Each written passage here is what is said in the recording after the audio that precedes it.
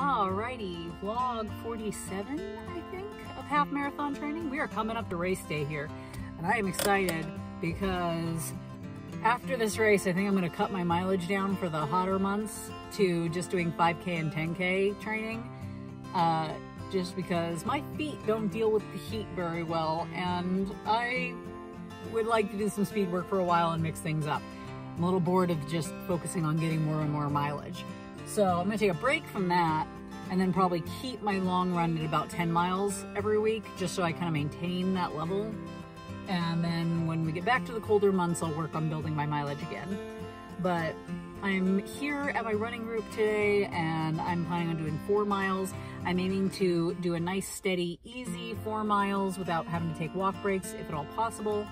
However, I stupidly allowed myself to bonk earlier today and I just completely forgot to eat to the point where I was like shaky and weak and dizzy uh, because I got hung up at this thing um, where there was not food as an option. So I'm still not feeling 100%, but I've been playing catch up on that all day. So we'll see how I actually do on my run.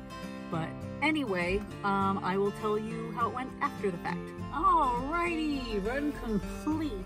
My Achilles felt a little bit off, but it wasn't hurting again, so that's good. I'll have to see how it's feeling tomorrow, see if it's swollen at all. I did manage to make it through my run without taking any walk breaks, but this was also city running where when you're stuck at a stop sign, you're stuck at a, or a stoplight, you're stuck at a stoplight. So there was that as far as breaks were concerned, but I think I averaged a pace of 11 minutes, 23 seconds a mile, which is more than a minute below my race pace goal of 12.30 a mile minimum. Um, so that's good. And four miles completed. I actually ended up getting lucky and getting to try the uh, new On Cloud Monsters because they had a uh, some On people here that were doing demo shoes that we got to try out and they were not bad. I would actually consider buying a pair of those, which is the first pair of ons that I actually would. All the rest are just far too firm for me, but those are significantly softer.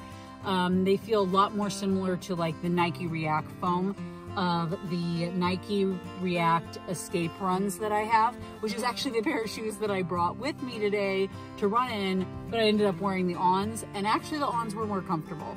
So they were pretty good, and they weren't quite as narrow as on usually tends to run.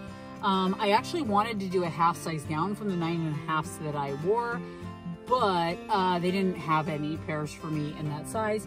So I just wore the nine and a halfs and they were a little bit extra roomy at the ends of my toes but they were pretty fun. Um, aside from that, I don't have anything else special to report. I managed to make it through the run without passing out from low blood sugar, so that was good. And that's pretty much it. I'm excited to finish up the last of this training block. Thus far, I only had to skip one session this entire training block for this half marathon training. Um, and that was entirely because I just got a weird Achilles thing and it was like swelling and hurting and I just figured it's like, listen, it's probably better just to miss one little three mile run and then get to do the rest of mine till race day than to try to push it and then have an injury before race day. So, so far I'm thinking that was a wise decision because it's feeling significantly better now and it's not really hurting anymore and I hope it stays that way, so fingers crossed. In the meantime, I hope your running is going well and you have a great day.